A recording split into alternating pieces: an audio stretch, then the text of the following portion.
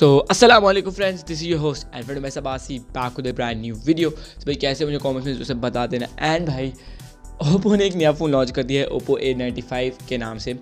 और आज की वीडियो में आपको बताने वाला हूँ कि ये फ़ोन आपने क्यों नहीं खरीदना, यानी कि don't buy Oppo A five in Pakistan so called शाहकार है ये ओप्पो की तरफ़ से, उनका कहना ही है। और ओप्पो काफ़ी टाइम से पाकिस्तानियों को ऐसे फ़ोन्स दे रहे हैं जो नॉन वैल्यू फॉर मनी है। वो भी मैं आपको आज के वीडियो में बताता हूँ, उसकी स्पेसिफिकेशन तो आपको पहले पता चल चुकी होंगे, लेकिन नहीं पता तो आज के वीडियो में आपकी स्पेसिफिकेशन भी बताता हूँ। और ये भी बताऊँगा, क्यों नहीं आपने इस फ़ोन की तरफ़ जाना। उससे पहले भाई चैनल पर जाकर सब्सक्राइब करके बेलाइकन प्रेस कर दो, ताकि आपको मेरे आने वाली फ्यूचर वीडियोज़ को सब नोटिफिकेशन सबसे पहले मिल सके। और डिस्क्रिप्शन में मैं सारे सोशल मीडिया के लिंक्स अगर कहीं फॉलो करना चाहते हो तो डेफिनेटली ज़रूर कर सकते हो। तो without do let's begin this video. सबसे पहले गाइस ये ओप्पो ए नाइन्टी फोर का सक्सेसर है जो पाकिस्तान में नहीं आया था। ओप्पो ए नाइन्टी थ्री भी पाकिस्तान में नहीं आया था। पता नहीं क्यों ओप्पो ने ए नाइन्टी फाइव को पाकिस्तान में लॉन्च करने की सोची और पता नहीं आई डोंट नो तो स्टार्ट करते हैं भाई इसकी स्पेसिफिकेशन इसमें लगा हुआ है एक six point four three inches का AMOLED display with full H D plus resolution साथ में यहाँ पे आप लोगों को कोई भी रिफ्रेश रेट देखने को नहीं मिलता, जो कि इस रेंज में मास्ट मिलता है टिल वन ट्वेंटी हर्ट्स का यहाँ पर आप लोगों को देखने को मिलता है। फ्रंट पे सोलह मेगा पिक्सल का कैमरा ठीक है? और ये फ़ोन जो है forty three thousand rupees cost करता है। मतलब मैं आपको स्पेसिफिकेशन बता देता हूँ फिर आपको पता लगता रहेगा कि क्यों मैं कह रहा हूँ कि आपको फ़ोन इस तरह, इसकी तरफ़ आपने नहीं जाना।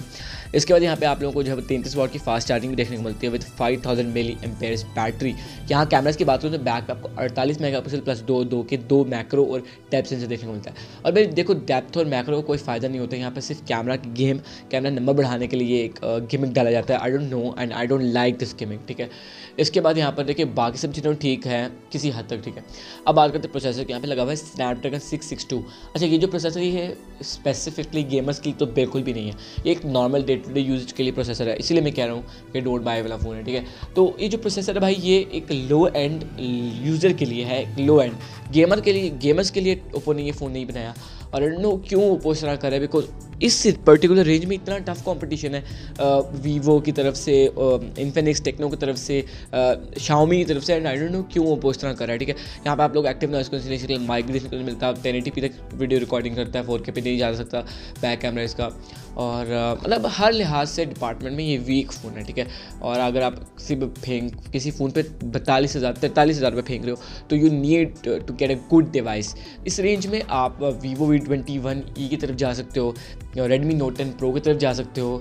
इनफैक्ट इससे कम प्राइस में इन्फिनिक्स ज़ीरो एक्स नियो मिल जाता है इन्फिनिक्स नोट एलेवन मिल जाता है इन्फिनिक्स हॉट एलेवन एस मिल जाता है। बहुत सारे ऑप्शन हैं यहाँ पे इस फ़ोन के लिए आपने नहीं जाना।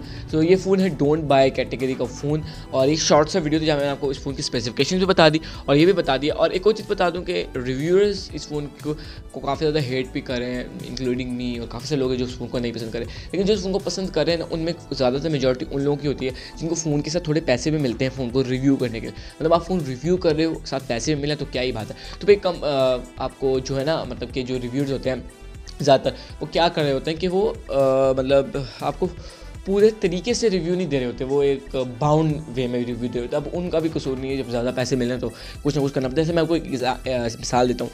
कंपनी कहती है कि आपने जो है ना इसकी ज़्यादा बुराई नहीं करनी। तो वो क्या करेगा बंदा? जैसे कि वो कहेगा, यहाँ पर स्नैपड्रैगन सिक्स सिक्सटी टू लगा हुआ है।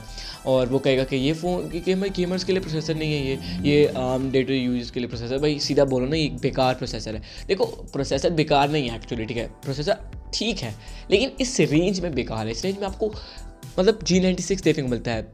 जी नाइन्टी टी देखने को मिलता है। कितने सारे ऑप्शन हैं। लेकिन ओप्पो ने यहाँ पे डाला तो मैं आपको ये कहूँगा, आपने ये फ़ोन नहीं खरीदना, जब भी आपको कोई कहे।